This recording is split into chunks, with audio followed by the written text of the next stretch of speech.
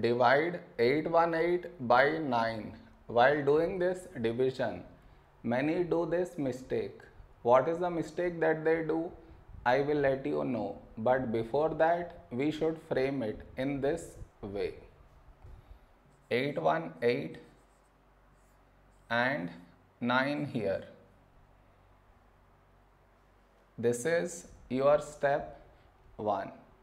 Next, here we have 8 and here 9. 8 is smaller than 9. So take two numbers 81. When do we get 81 in 9 table? 9 nines 81.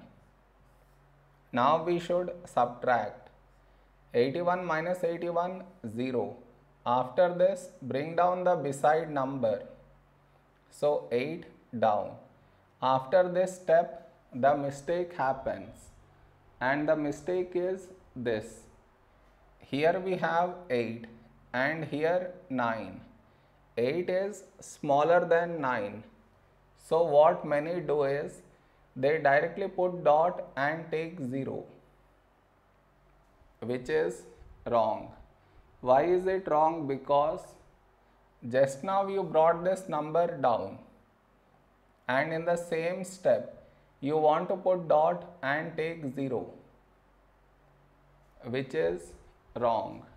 I repeat bringing the number down and also put dot take 0 bring the number down and put dot take 0 both at the same step you should not do.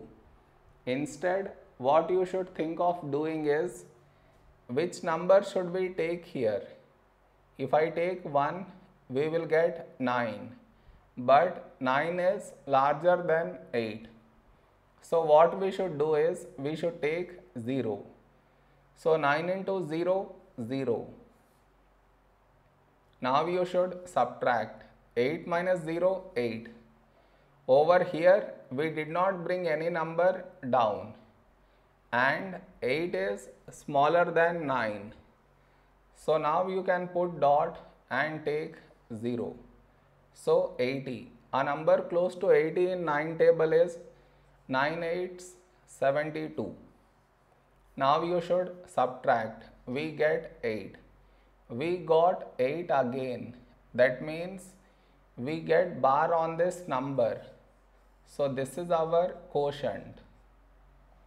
Did you understand where does the mistake happens? You should not do that mistake.